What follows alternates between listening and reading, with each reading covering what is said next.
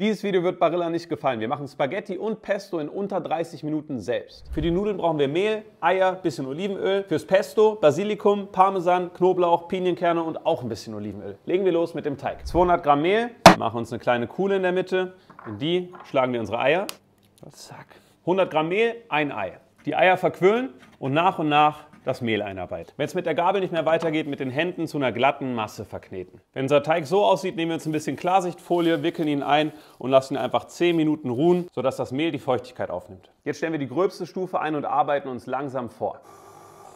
Spaghetti-Aufsatz drauf, ab geht die Post. Und fertig sind unsere Spaghetti. Und wir geben sie direkt in gesalzenes Wasser. Jetzt machen wir ein schnelles Pesto. Basilikum, Knoblauchzehe, Olivenöl, ein bisschen Salz und pürieren.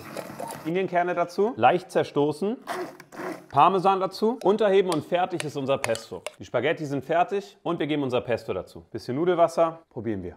Hm.